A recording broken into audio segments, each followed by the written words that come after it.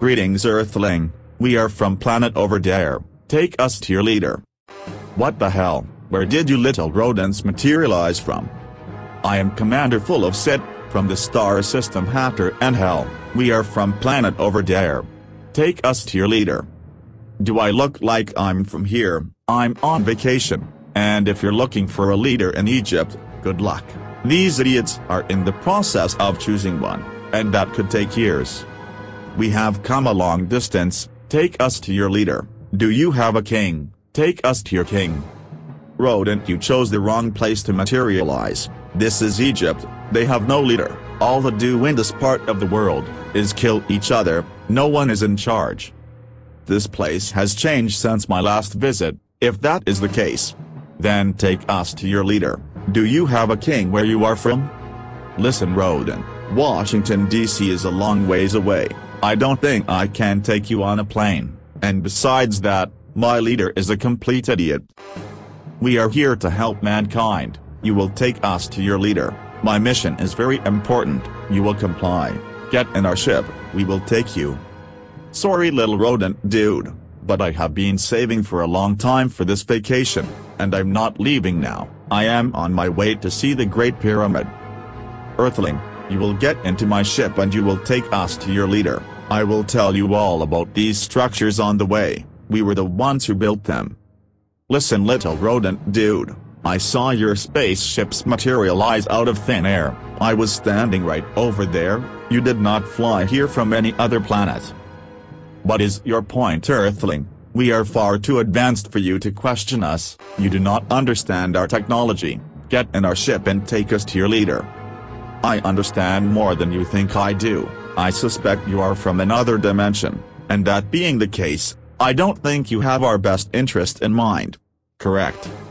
Listen Earthling, you understand nothing, we are here to help mankind, you are destroying yourselves and your planet is in danger. Get in my ship and take me to your leader. Like I told you before, my leader is a complete idiot, and I'm sure he would believe this load of crap you're trying to deceive me with, but I've read the Bible and I'm not buying it. Silence Earthling, you know nothing, why do I waste my time with you? I am here to show you how to save yourselves from destruction, now take me to your leader or I will harm you. Oh my, did I hurt little rodent dude's feelings, I'm so sorry I ever doubted you. That's more like it, now get in my ship, show me this Washington DC, and take me to your king idiot. Psyche, not, now you listen to me you little rodent, let me tell you what I suspect, you are not some space traveler as you claim, but a demon straight out of hell, correct? I should vaporize you right now, how dare you question me, I am from planet over there, you will get into my ship and take me to your leader, or die, the choice is yours. Listen Rodan, you and I both know you are a demon, you come from hell, and you have an agenda, and that agenda is to deceive. Humans are so stupid, you would believe an ancient text over me. You will all die, as you deserve.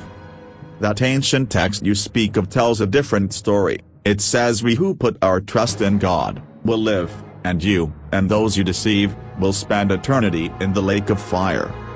Silence, I have no idea what you are talking about. Do not speak of this lake of fire again, you know nothing, you speak lies, your ancient texts are not to be believed.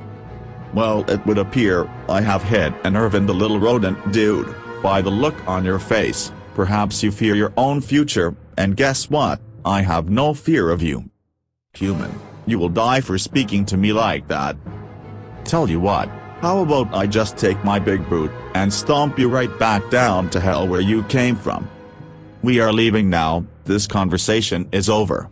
I hate all humans.